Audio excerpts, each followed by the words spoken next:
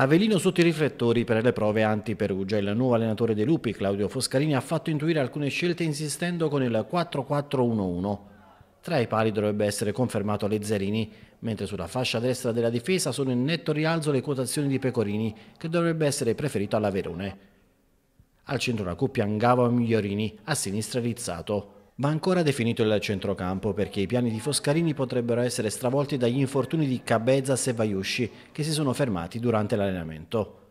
Cabezas ha lamentato un leggero affaticamento al flessore della coscia sinistra e non ha partecipato alla partitella in cui Vaiusci ha rimediato una botta al piede destro in seguito a un contrasto con Derisio. Se i due esterni non dovessero farcela, Foscarini ha già pronto il piano B, che è stato già provato con l'inserimento di Molina sulla fascia destra e D'Angelo sul versante sinistro. Di Tacchio e Derisio in mezzo al campo, mentre in prima linea dovrebbe giocare il tandem Asensio-Castaldo.